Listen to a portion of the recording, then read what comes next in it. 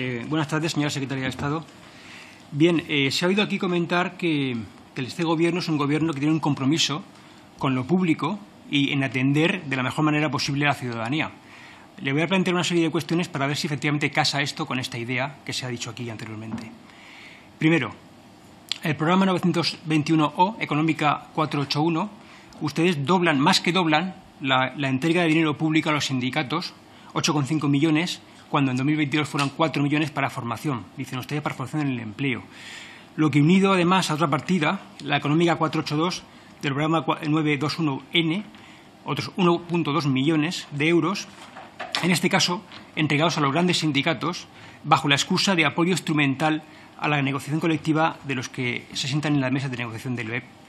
Concretamente, lógicamente, son sus sindicatos, los suyos, los de su partido, los del partido del socio, los comunistas y socialistas, los que se llevan fundamentalmente este dinero.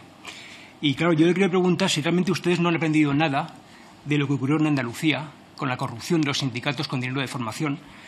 Y le quiero preguntar si los españoles vamos a seguir aguantando mucho más tiempo la fiesta de los sindicatos del marisco, eh, señora secretaria de Estado. El segundo punto, me gustaría que me aclarase si casa con la idea de la, del compromiso de la, del Gobierno con lo público, es el ataque al mutualismo administrativo. Usted aquí me ha dicho que van a garantizar la suficiencia financiera del sistema, pero de las cuentas no se deduce esto, señora secretaria de Estado.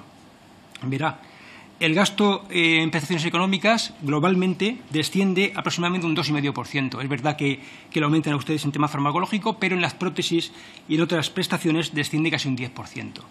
Pero, por otra parte, la asistencia sanitaria solamente aumenta aproximadamente un 2,6% en este, en este proyecto de presupuestos. Claro, yo quisiera preguntarle cómo pueden las aseguradoras concertadas con el sistema público de, de, las, de las mutualidades eh, administrativas realizar una prestación sanitaria mínimamente aceptable para los funcionarios públicos en un escenario en el cual el coste de la vida, la inflación, se aproxima al 9%. ¿Sabe usted lo que está pasando con los cuadros médicos de las mutualidades administrativas, de la MUFACE, de la MUJEJU de ISFAS? Pues mire, eh, es muy sencillo, simplemente basta con informarse. Cada vez son menos los médicos que se ofertan a los funcionarios públicos, cada vez son menos las prestaciones que se ofrecen y cada vez son menos los hospitales a los que los funcionarios públicos tienen acceso. Tenemos acceso en virtud del sistema mutualista.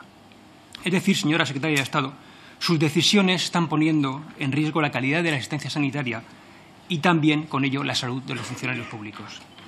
En tercer lugar, me gustaría que me explicara si casa con la idea del compromiso del Gobierno con lo público la entrega de dinerito a los chiringuitos de amiguetes. Y se lo voy a decir en concreto en relación con dos aspectos o con dos eh, entidades.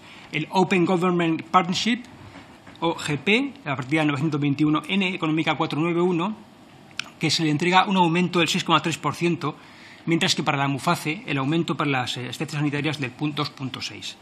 La comparativa es muy gráfica, ¿verdad? Y, que, y le pregunto, ¿qué clase de chiringuito globalista es este? Y, por cierto, eh, van a aumentar ustedes el presupuesto de la, del Consejo de Transparencia más de un 17%, lo cual está muy bien. Pero ya va siendo hora de que cumplan con la obligación de, lo primero, de que dispone la ley y, segundo, de desarrollarla con un reglamento, que lleva muchos años de retraso. También me gustaría preguntarle por la aportación que realiza su Gobierno y esto nuevo es como un pequeño champiñón que ha salido aquí en los presupuestos, hay que mirarlo con lupa para encontrarlo, pero eh, se le dan 3.000 euritos de nada al Foro para la Contratación Socialmente Responsable, en la partida, el programa 921O, Económica 489, lo que unidos a los ocho, otros 8.000 euros de cuota anual, anual, el programa 923A, Económica 482, que se le entrega a esta entidad, nos encontramos con que recibe 11.000 euros y buscando un poquito, no hay que investigar demasiado, pero, en fin, teniendo un poco de curiosidad, eh, encontramos que el presidente de este chiringuito es el señor Rodríguez Zapatero. Qué casualidad, ¿verdad? Todo queda entre amigos. ¿Esto es la economía de amiguetes o la política de amiguetes o cómo es esto? Lo que es cierto es que, lógicamente, yo no sé si el Gobierno o los españoles seremos resilientes o sostenibles, pero el señor Zapatero sí que lo es, ¿eh? con dinero público. También nos llama la atención el dinero que se le entrega para el tema de personal en, cuestión de, presidencia del Consejo de la Unión Europea, eh, personal en materia de, de, vehículos, concretamente de personal, conductores, choferes y demás. Nada menos que dos millones de euros. Nos gustaría saber cómo de abierto y de transparente va a ser el procedimiento de contratación y selección.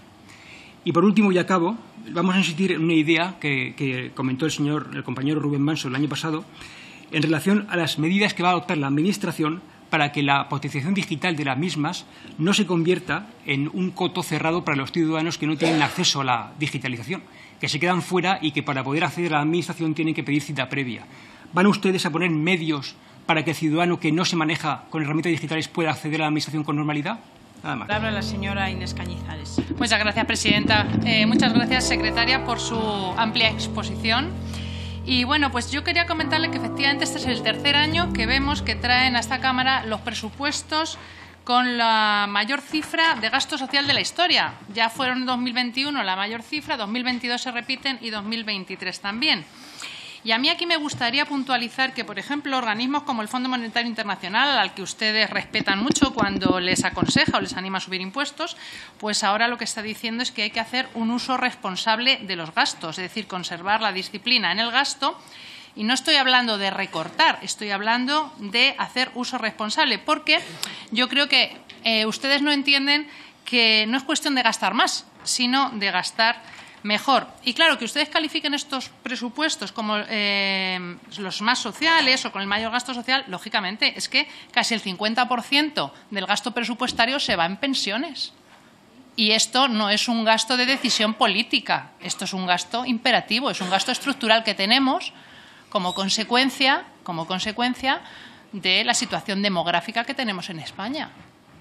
Entonces, eh, que ustedes de alguna manera eh, presuman de que son los más sociales, bueno, pues es que yo creo que tanto ustedes como cualquier gobierno esos gastos, por supuesto, que los tiene que atender, igual que las prestaciones por desempleo o las prestaciones por, por eh, dependencia. Pero es que el hecho de que sean sociales no implica que sean justos necesariamente, porque todo ese gasto social y el no social, que también es mucho, todo ese que ustedes pretenden gastar, alguien lo tiene que pagar y fundamentalmente se paga pues con los impuestos de los españoles. Y es que esa recaudación no procede de los ricos. Y mire, le voy a explicar por qué. El 61% de los españoles perciben rentas según, según Hacienda, según la agencia tributaria, inferiores a 21.000 euros y ellos aportan a la recaudación por el impuesto del IRPF el 9%.